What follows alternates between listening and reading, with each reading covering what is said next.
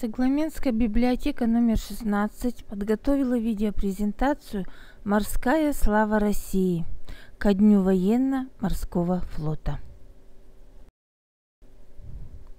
Его уважают во всем мире военно-морской флот Российской Федерации.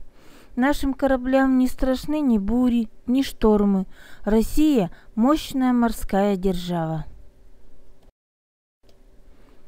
Россия – великая морская держава. Право считаться ею завоевано поколениями наших соотечественников, чьи мужество и самоотверженность, блистательные победы в морских сражениях стяжали немеркнущую славу стране и ее военно-морскому флоту.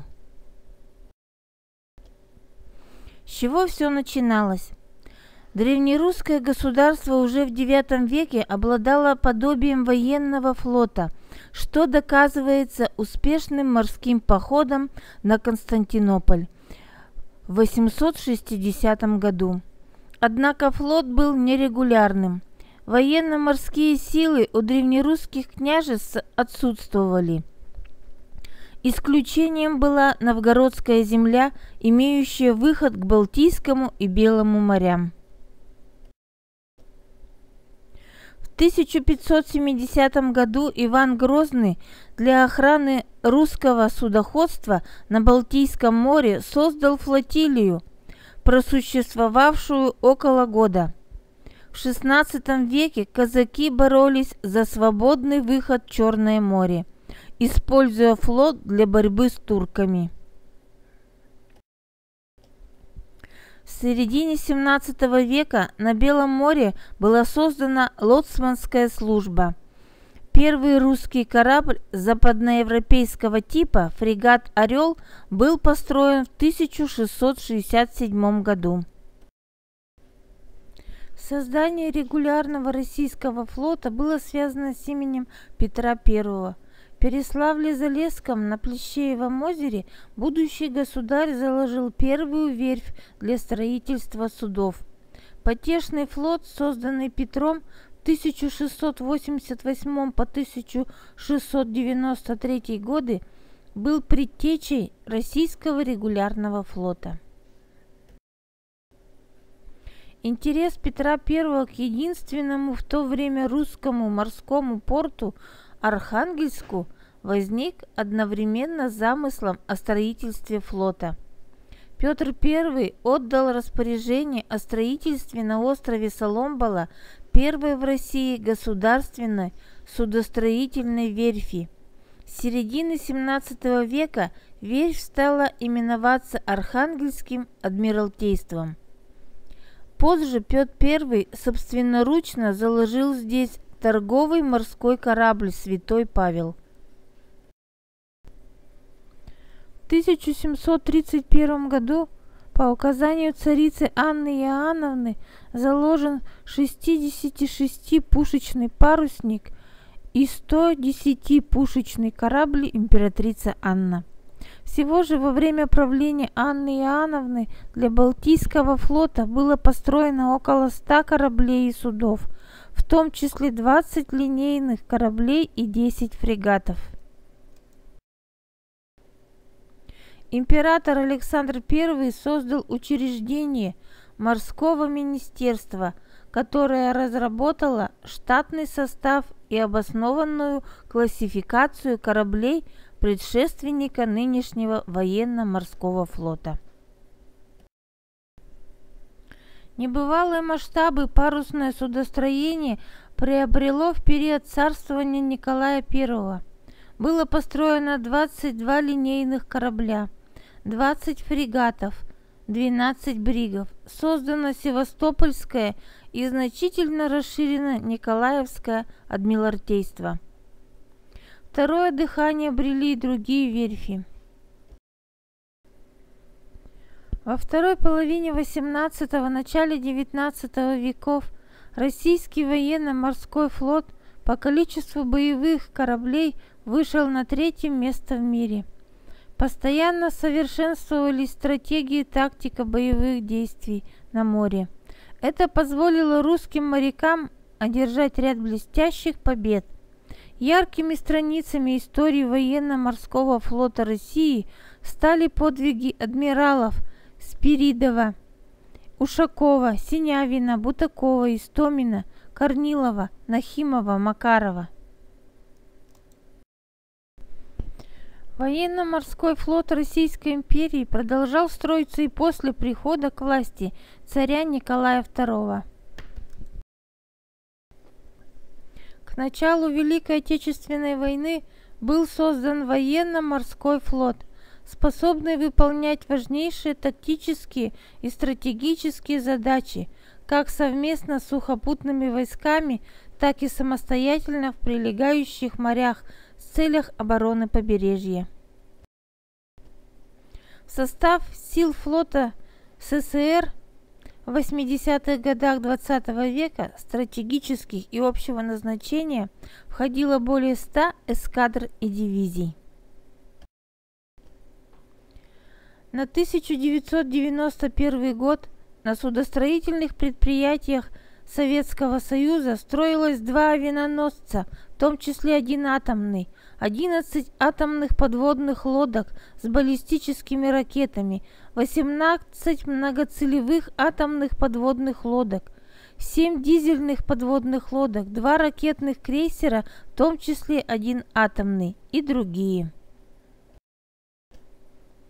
Военно-морской флот является видом вооруженных сил Российской Федерации – он предназначен для вооруженной защиты интересов России, ведения боевых действий на морских и океанских театрах войны. Военно-морской флот способен наносить ядерные удары по наземным объектам противника, уничтожать группировки его флота в море и базах, нарушать океанские и морские коммуникации противника и защищать свои морские перевозки – содействовать сухопутным войскам в операциях на континентальных театрах военных действий, высаживать морские десанты, участвовать в отражении десантов противника и выполнять другие задачи. В состав военно-морского флота России входят следующие силы. Надводные силы, подводные силы, морская авиация и береговые войска флота. Надводные корабли являются основными силами для обеспечения выхода и развертывания подводных лодок в районы боевых действий и возвращения в базы, перевозки и прикрытия десантов. Им отводится главная роль в постановке минных заграждений, борьбе с минной опасностью и защите своих коммуникаций. Подводные силы – это ударная сила флота, способная контролировать просторы Мирового океана, скрытно и быстро развертываться на нужных направлениях и наносить неожиданные мощные удары из глубины океана по морским и континентальным целям. Морская авиация предназначена для противоборства с группировками надводных кораблей в океане, подводными лодками и транспортами, а также для нанесения бомбовых и ракетных ударов по береговым объектам, уничтожения авиации противника в воздухе. Войска береговой обороны, как род сил военно-морского флота, предназначены для защиты пунктов базирования сил военно-морского флота, портов, важных участков побережья, островов, проливов и узкостей от нападения кораблей и морских десантов противника. Военно-морской Андреевский флаг. Андреевский флаг – главное корабельное знамя российского флота – он представляет собой белое прямоугольное полотнище, пересеченное по диагонали из угла в угол двумя голубыми полосами, образующими косой крест. 17 января 1992 года правительство России приняло постановление о возвращении статуса Андреевского флага. 30 января 1699 года учреждение Петром I Андреевского флага, кормового флага кораблей российского флота. Эмблема военно-морского флота Российской Федерации. История праздника Дня военно-морского флота. В августе 1714 года русский флот под командованием Петра I одержал свою первую победу. Тогда и зародилась традиция по случаю побед на море выстраивать корабли и палить из всех пушек. В Советском Союзе с 1923 года проводилась неделя Красного флота. Во времена советской власти день рождения военно-морского флота России назывался иначе – День рождения военно-морского флота СССР. Необходимо отметить, что этот праздник начали отмечать с 1939 года по инициативе выдающегося советского флотоводца, героя Советского Союза, адмирала флота Советского Союза Николая Герасимовича Кузнецова. День военно-морского флота отмечается в последнее воскресенье июля на основании указа Президиума Верховного Совета СССР от 1 октября 1980 года о праздничных и памятных днях. Этот один из самых любимых праздников еще в СССР, а затем и в России. Сегодня военно-морской флот успешно решает задачи в интересах обеспечения безопасности и обороноспособности государства.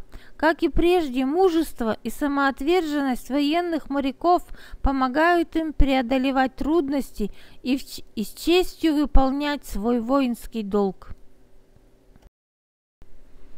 Подтверждение. Высокая выучка личного состава, грамотное использование боевых возможностей современных комплексов вооружений, бдительное несение боевой службы и боевого дежурства, верность Андреевскому флагу и военной присяге. Проходит десятилетия, и в наши мирные дни, как прежде, стоят на рейде линкоры и корабли. Флоту русскому память в веках, дружба в море, как камень крепка, будет наша Россия жива. Флоту России слава!